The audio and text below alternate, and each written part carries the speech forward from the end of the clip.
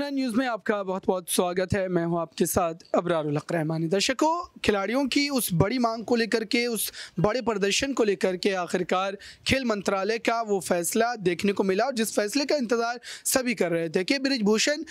खेमे के उस चेहरे को क्यों जो है यहाँ पर जो है खेल का पूरा जिम्मे और कार्यभार जो है सौंप दिया गया। हालाँकि इस मामले के बाद भी अब चर्चा इस बात की चल रही है कि आखिरकार क्या ब्रिजभूषण, शरण सिंह फिर से इस मामले में जो मुलाकात कर रहे हैं, अमित शाह से मुलाकात हुई और कई बड़े नेताओं से मुलाकात हुई, क्या इन मुलाकातों के करने के बाद फिर से एक बार जो है इस फैसले को बदला जा सकता है या यहाँ पर खिलाड़ियों की जीत को सबसे ऊपर रखा जाएगा? अब इसका राजनीतिक एंगल भी समझ लीजिए। दरअसल इस पूरे मुद्दे पर इतना ज़्यादा सरकार झुकने पर मजबूर इसलिए भी हुई क्योंकि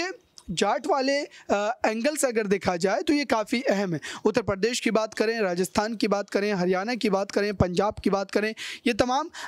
ऐसे राज्य हैं जहाँ पर जाटों का एक बड़ा वोट बैंक है और ज़ाहिर सी बात है कि इन वोट बैंक को लेकर के ही जो है भारतीय जनता पार्टी काफ़ी ज़्यादा जो है सोच समझ के बाद जो है इस फैसले पर जो है यहाँ पर आई और इस फैसले को लेने के बाद ये तय माना जा रहा है कि जाट समुदाय जो पूरी तरीके से यहाँ पर विरोध करने के लिए उतर सकता था, दरअसल अब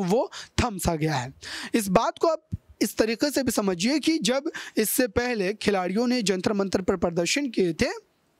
उस समय कई, आप कह सकते हैं कि यहाँ पर जो समर्थक जाट, जो संगठन है, वो वहाँ पर पहुँच गए थे। किसान जो है, सभा जो है, वो वहाँ पर पहुँच गई थी। खाप पंचायत के लोग वहाँ पर पहुँच गए थे। तो ऐसे में भारतीय जनता पार्टी को इस बात का आभास हो चुका था कि अगर इस मुद्दे को वो उस तरीके से ही यहाँ पर जो है, कहीं ना कहीं एक हवा देते रहें तो ज़ाहिर सी बात है कि ये मामला काफ़ी ज़्यादा बढ़ जाएगा और राजनीतिक रूप से भारतीय जनता पार्टी के लिए ही ये बड़ी जो है बड़े परेशानी का कारण बनेगा कि आखिरकार इस समय जो स्थिति बनी आखिरकार जो इस समय पूरा मामला देखने को मिल रहा है। इसको लेकर के बीजेपी का ये फैसला सराहनीय है, लेकिन अब खिलाड़ियों की और मांगों को लेकर के भी क्या बीजेपी उस तरीके का ही फैसला लेगी, ये देखने वाली बात होगी दर्शकों। फ़िलहाल इस खास रिपोर्ट में बस इतना जुड़े रहें बड़ी खबरों के लिए नेक्स्ट नाइन न्यूज़ के साथ।